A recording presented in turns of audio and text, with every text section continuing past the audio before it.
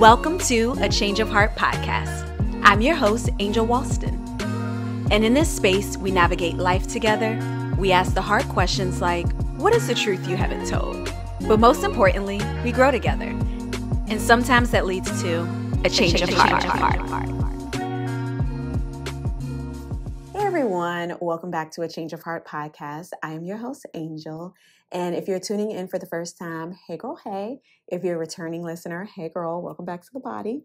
Today, we are going to be talking about preparing while you're waiting. And I feel like this is a necessary discussion because I know for a lot of people, um, you're just in a space of transition, but not really sure what's next.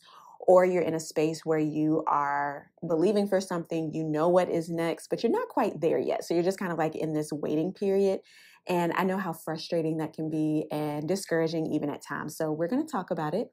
But before we get there, typically I would do a question of the day. However, y'all, I'm still kind of on the struggle bus when it comes to social media, and I just don't feel like we're posting responses on all of that today. So instead, what we're going to do, I said that if I didn't do a question of the day, I would do a little story time. So we're to do a little story time this morning, okay? So one of my friends sent me a post by this girl on Instagram. It's at Isabella Camille underscore, I believe. And she is she posted about doing this 75 day like I feel like it's just like a recommitment to herself. I'm probably not explaining it in the way that she did, but for the next 75 days, she is working out every day for 45 minutes. And I was like, oh, girl, you go, girl. You got it, sis. I ain't doing that, but you got it, sis. She's reading 10 pages from a book every day. Um, like clean eating, unless it's like something celebratory. Oh, no, no, it's clean eating in general, no alcohol unless it's something celebratory. And I was like, you know what? I need a heavy reset. And so I'm thinking about doing just kind of a of 60 like day journey just to recommit to myself, recommit to God, and just kind of like refocus some things because I feel like I've just been a little bit I, I, listen, we go call it call a spade a spade. I kind of been doing like whatever I want to a little bit, and I need to like recorrect some habits as far as like eating.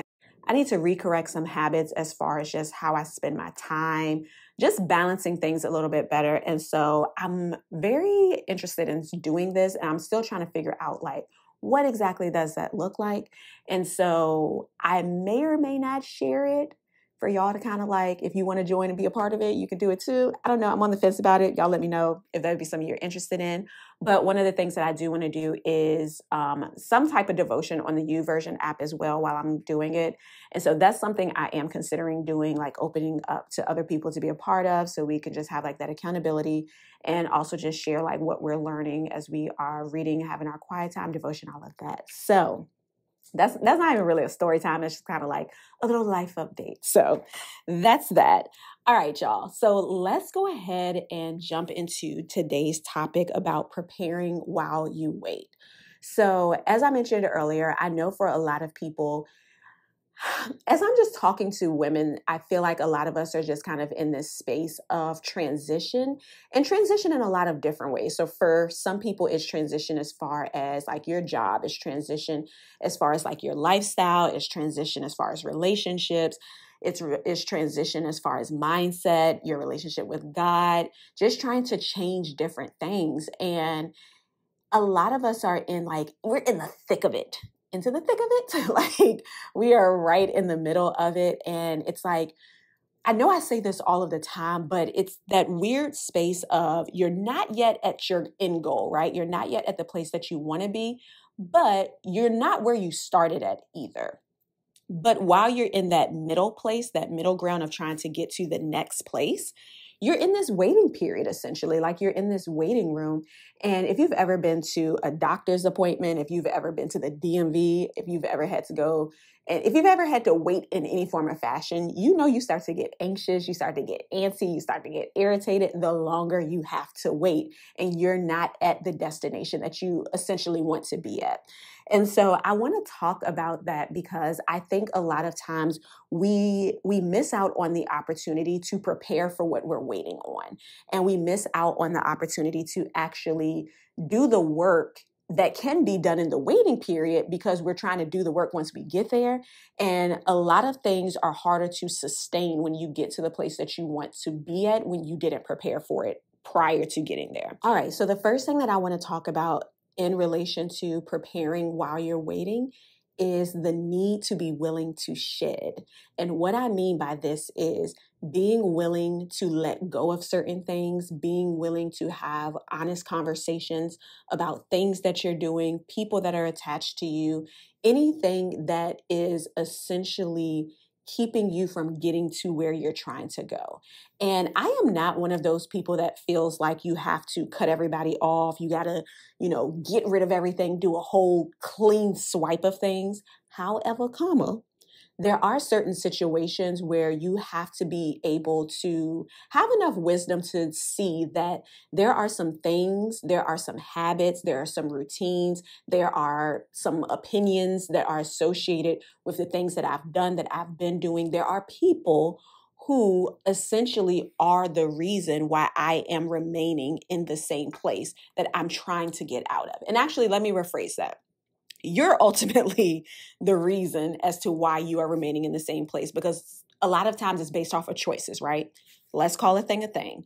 But there are things and people that we have allowed ourselves to hold on to, that we have allowed ourselves to create patterns with that keep us in a place that we are ultimately trying to get out of sometimes when you're in a space of waiting, it's not because there's a delay. It's not because you need more time. It's not because you aren't qualified. For some of you, it really is because you have things attached to you that you need to let go of. And that was a hard lesson for me, and still at times a hard lesson because I have found myself staying in things that I really don't want to do or committing to things that I really don't want to do to keep the peace, to not rock the boat. And we've talked about this before in past episodes. And I have found myself getting frustrated in situations that is like, you ain't supposed to be in that anyways, girl. Like, what are you doing? And for a lot of people, specifically women, I feel like we tend to stay in situations that have expired we tend to stay in places with people in situations that no longer serve us. And it's not even a thing of that is something wrong with the person or the situation, whatever it may be, is a bad or negative thing. But I genuinely do believe that you have grace for certain seasons of your life. And sometimes that expires, and there's nothing wrong with that. But we can be in a position where we end up getting comfortable where we are. And so we stay in situations that we have outgrown. And we end up trying to make something fit that no longer works for us. You think about it in the sense of a child as they're getting older as they get older, their clothes size get bigger, their shoe size gets bigger.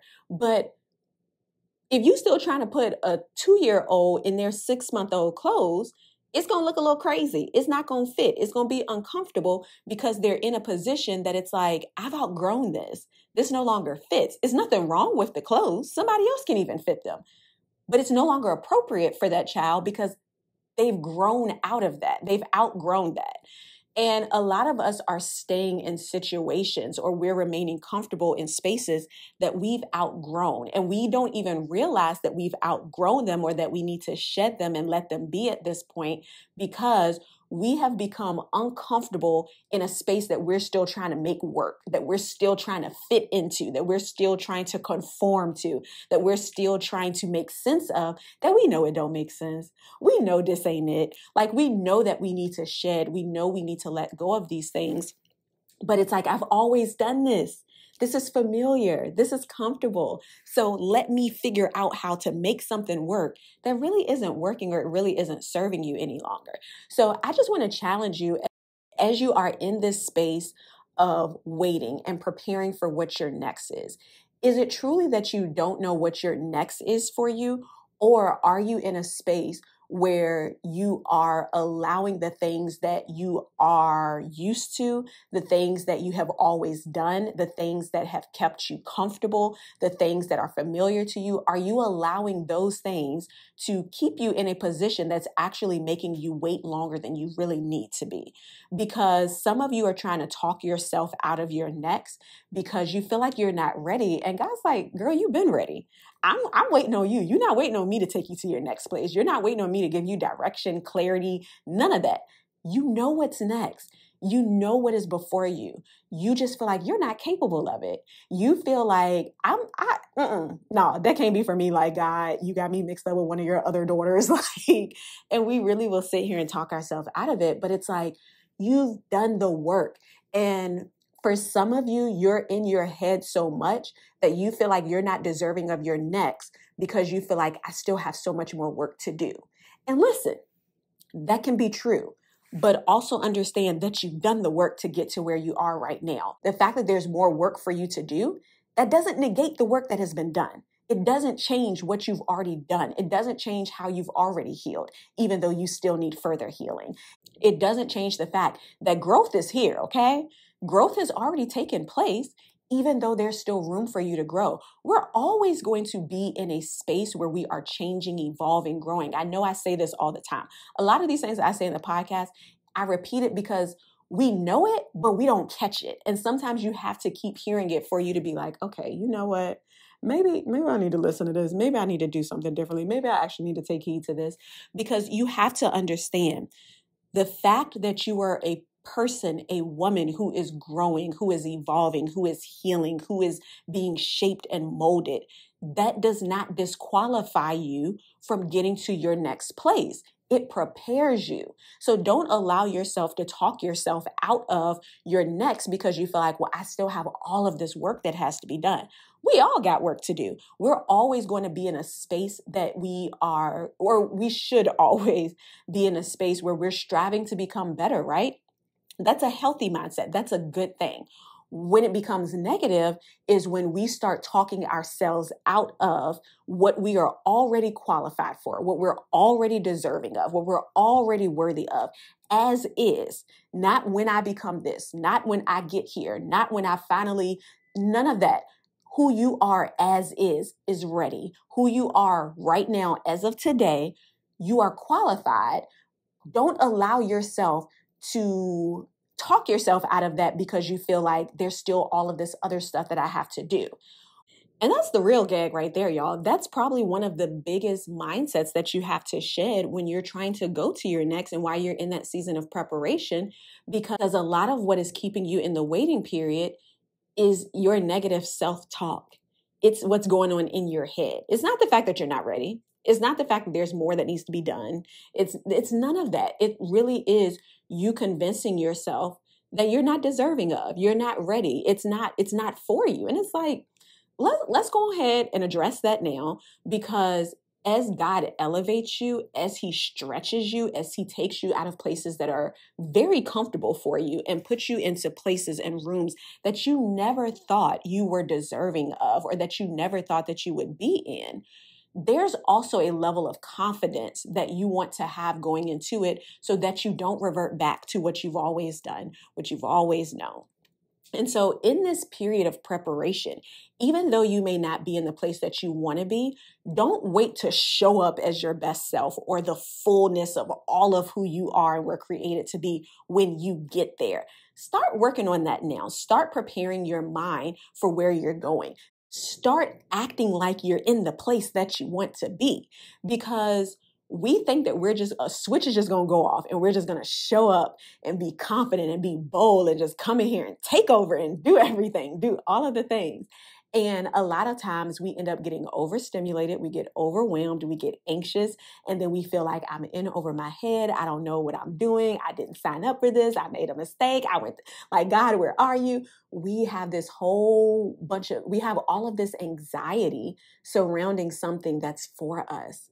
Don't allow the old mindsets that you've carried and don't allow different things or people or even environments that you are in to keep you from getting to your next because you feel like you're not worthy, deserving of, or because you are holding on to things that you really do need to let go of. And as I mentioned earlier about struggling with doing things and accepting things that I really didn't want to do, I would encourage you to look at what is on my to-do list? What is on my calendar right now that I've said yes to that one I ain't talked to God about and or that I really don't want to do because some of you the reason why you're still in a place of waiting is because your calendar is full of things that you're not even supposed to be doing. Your to do list is full of things that were never ever supposed to be a part of your day to day, but you've taxed on You've taken on all of these different things that you weren't ever supposed to be doing. And then you wonder why you're in a place of waiting. You don't have time for your next. You don't have room for it. We have to create room for where we're going to next because otherwise you end up what's supposed to be a blessing, you end up feeling burnt out by it. You end up feeling frustrated with it. You end up feeling like this is too much. You feel overwhelmed. What are you holding on to? What are you carrying? What is on your calendar right now that you said yes to out of obligation, that you said yes to out of people pleasing, that you said yes to because you don't want to let other people down, but it's really not for you anymore? Make peace with disconnecting at times when it's necessary. Make peace with telling people no and not feeling guilty about it. I get it, y'all. Trust me when I say I get it make peace with stepping away or stepping back from things that is no longer a good fit for you. You don't have to apologize for that. And I think sometimes we can get in our head and we we're so concerned about letting people down or feeling like, "Oh, if I don't do it, who is going to do it?" Somebody going to do it. Somebody will always fill in the gap. If you lose your job, if you get fired, God forbid if you were to pass, that position is going to be filled. Like it will get done. You are not the savior, okay? We have a Lord and Jesus who is the savior. You are not the savior for people. It is okay to step away. It is okay to step back. It is okay to let go of. And for some of you, there are things that you have continued to do just because it's always what you've done. And yes, that has served you well, but now it's, some, now it's time for something new. Now it's time for your next because your transition it's not going to be what you've always done because that's not a transition. So, in order for you to get to your next, you got to do something that you haven't done before. And sometimes that is going to require you to shed and let go of the things that you've been doing which have served its purpose. You did it well. You you did what you needed to do. The relationship has ran its course. It's okay. And I, let me also say this sometimes we have to be reminded that when it comes to friendships, relationships, and things like that, it doesn't always have to end on bad terms. It doesn't always have to be this fighting match. It doesn't always have to be this whole big, huge falling out. Sometimes relationships simply just run their course. I have served my purpose in your life. You have served your purpose in my life. And that's that. It's no hard feelings. There's no malice. There's no, there's no ill intent. It just is what it is. And sometimes we end up in those situations where it does become this huge falling out. It does end up becoming this issue because you try to continue to make a relationship work that's really not working, that no longer serves a purpose for either of you. It's not just, oh, you, you no longer serve a purpose in my life. You have also done what you need to. You your service has also ended for that person as well. You have to be okay with letting things go and letting people go at times when you know that's what you need to do.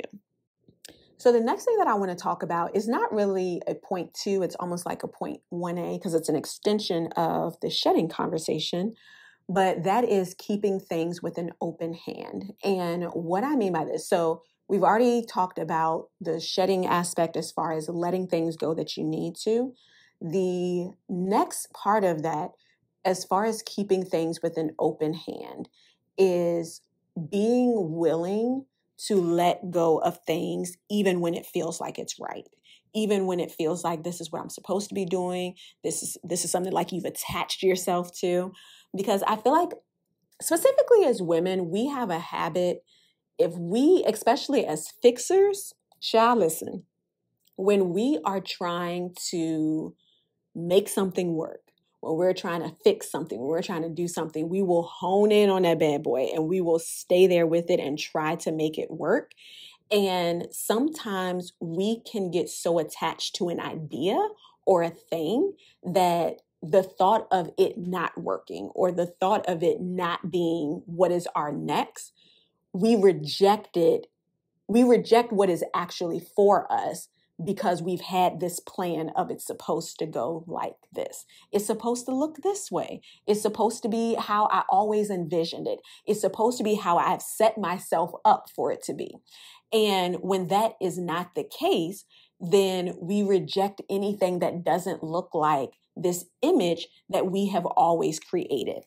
And so when I talk about keeping things with an open hand, a lot of times as we are preparing for something, we have an idea in mind. Even when we don't know what is next, even when we don't know how we're going to get there, what it's going to look like, we typically have an idea uh, in mind of how we think it's supposed to be, how we think it's supposed to feel, how we think it's supposed to come together, how we think it's supposed to connect. And so, a lot of times with that, we end up putting ourselves and God into a box because we feel like it can only look one way, it can only happen one way. And a lot of times, when if you think about the things that God has done for you, typically it's not exactly the way that you thought it would be, but most of the time it it ends up being bigger than what you could have ever imagined or envisioned for yourself.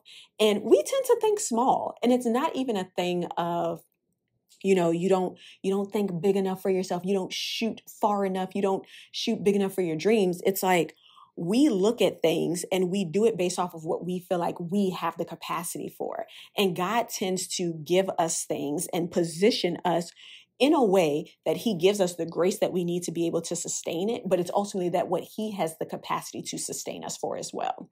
And I say to keep things with an open hand because as you are making plans for your next, as you are in a period of transition, as you are trying to figure things out, don't allow the plans that you've made for yourself to be so tightly held in your hand that you don't give God room to move. You don't give God room to change your plans. You don't allow anything to shift beyond what you have already planned and set up for yourself because you will end up ignoring and or rejecting what is next for you and where God is trying to take you to next because you're so focused on it doesn't look the way that I thought it would. This isn't how it's supposed to be. It's supposed to work like A, B, and C. And you're over here frustrated at F, Z, K, B because it's out of order. This isn't how I planned for it to go. It was supposed to be like this by this age. It's supposed to look like this by this time of the year we have all of these different plans and things. And when you hold things so tightly in your hand, it gives you less wiggle room. It gives you less opportunity to be open. I want to encourage you, and this is something I'm challenging myself in as well, is to allow yourself to be open. It doesn't have to look like the way that you thought it would. It doesn't have to go as planned. It doesn't have to make sense right now. But just be open to opportunity. Be open to things looking differently. Be open to things changing keep the things that you are planning, preparing for, keep them with an open hand because here's the thing about having an open hand with God. If He needs to change it, your hand is open. You're open and willing to receive the change. When you have something that you're holding on to that is clenched in your fist, it's very hard to get you to be, to have your heart softened enough to be willing to adjust. This is the biggest thing that I think can help as we are trying to grow, evolve, go to our next is being able to adjust, being willing to pivot. That's another thing that I say all the time. There is so much power in the pivot. There is so much that comes with just your flexibility when it comes to what God is trying to do in your life. We have all of these plans that we create for ourselves. We have all of these different things that we set up for ourselves.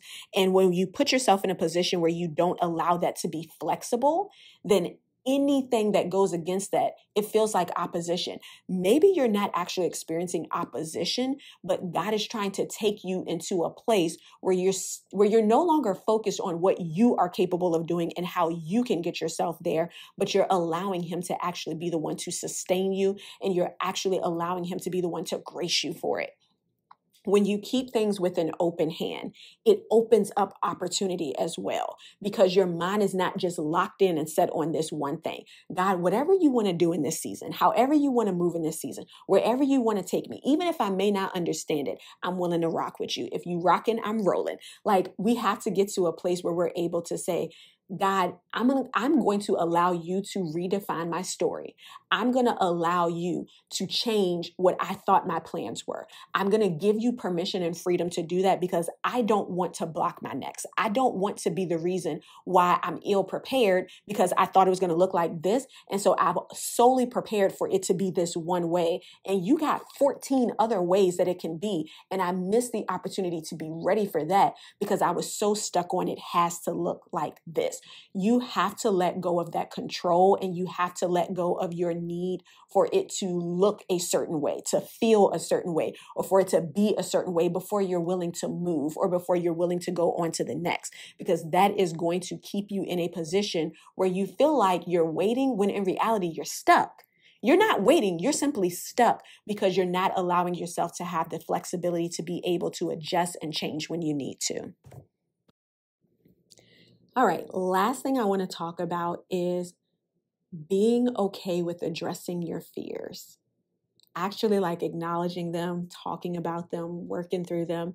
And there's really layers to this because, on one hand, it's what we've always talked about as far as the fear of the unknown, the fear of not knowing what's next, not knowing how things are going to come together.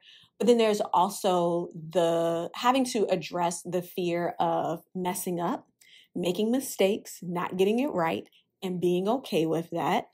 Also, the fear of what if I'm not good enough? What if I don't get it right? What if I fail? Be okay with addressing all of that and knowing that even if you don't do it exactly the way as planned, even if it doesn't turn out how you thought it would, even if you have a moment where you revert back, even if you don't feel all the way prepared, be okay with addressing and acknowledging them because a lot of times when we start talking about these things and we think about like okay well what if, what if i make a mistake? Okay then what? It's going to be okay. Why? Because you made mistakes before and guess what? It's been okay and it's still going to be okay. As you start talking about those things and like really start getting just getting stuff out of your head and start processing if i fail then what it's going to be all right. You'll realize that a lot of the things that you're carrying as fear, it doesn't hold as much weight as it feel like it when it's in your head. When it's in your head, you're going to convince yourself that every fear that you have is going to come to pass, is going to be the worst case scenario every single time. And let me ask you this, when you truly think about your life so far, anytime you have thought of the worst case scenario of how something would work out, have you always ended up in the worst case scenario? I'm going to answer that for you. No, I don't believe that. Like it rarely ever turns out in the worst case scenario. But we carry around this fear all the time of how we think it's going to turn out. And it's typically not in the positive way. It's typically the worst case scenario that rarely ever happens. And so I want to challenge you as you are preparing, as you're in this place of waiting and you are unsure, you don't know what's next. You're in this place of transition, or maybe you do even know what's next, and you have all of these different thoughts in your head this worry, this fear, this anxiousness. Allow yourself to speak it allow yourself to get it out of your head and talk about what are you anxious about? What are you afraid of? And just get that out of your head because as you start to talk about it, as you start to process it, you realize that this weight, this burden that you have been carrying, one, it ain't even worth it for real, but it's also not as heavy as it feels. A lot of things will feel heavier when you keep it inside because you're carrying all that around. You feel that in your body, you feel that in your thoughts. You feel that. You got to release that. And I'm always, always, always going to encourage therapy. Team therapy all day, every day. I think it's very beneficial for you to be able to have an outside party who can help you to process those things. Because sometimes we can like talk things out and then we can create further scenarios. Like, be self aware enough to know, like, okay, am I able to process this in a way where I'm able to root these things in reality, where I'm able to actually acknowledge, like, okay, girl, this I know I know what we're thinking, I know where we're at, but this really don't make sense when I start saying it out loud. If you can do that, okay, cool. But I do think that it's helpful to have a another party who can help you to see the holes that maybe you're not seeing or even to feel the holes that you are not aware of. but just allow yourself to really think about like okay what am i really afraid of why am i afraid of this okay if this were to happen then what i'm gonna be okay. I show him because i've always been okay and god got me. You have to have that confidence in knowing that worst case scenario typically never happens or if it happens is not an always going to happen type of uh, situation and even if it does happen, it's not the end of the world. You're going to be okay. You got this. You have come out of things before that you didn't plan for, that hurt you, that disappointed you, that discouraged you. You were able to overcome that. And you're a person, you are a woman of resilience. So just as you have been able to overcome other things, you'll be able to overcome anything that, that you face when you're transitioning, where you're going into this next space. Don't allow yourself to talk you out of it because you're afraid we all have things that we're afraid of. We all have these thoughts. We all have these things that make us feel like, but what if? Okay, but also consider the latter. What if it works? What if this is what you have been waiting for all of your life? What if this is literally setting you up to change the trajectory of your life and the generations to come after you? Let's consider those what ifs too, right? All right, that's everything that I have for you today. I hope that you're encouraged. Make sure that you share this with a friend. And until next time, don't forget be whole, be healed, and be authentic. Bye. Thank you so much for tuning into a Change of Heart podcast. I hope you were encouraged, and please take a moment to share with a girlfriend and don't forget to download the episode. Lastly, I would love to connect with you.